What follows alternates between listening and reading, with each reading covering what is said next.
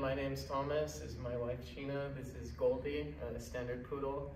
Um, when we got him, he was just so crazy that uh, you know he was constantly destroying all our stuff, uh, biting everyone, jumping on everyone. We couldn't have family around him. Uh, we couldn't even have him in wedding photos because we were worried he would like destroy everyone's stuff.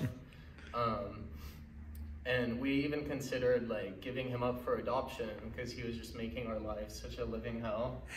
um, and so now, you know, it looks like he's completely calm, and we have a way to actually like help uh, discipline him, and he he's still the same happy self, but he's much tamer, and we can actually finally control him and be happy with him.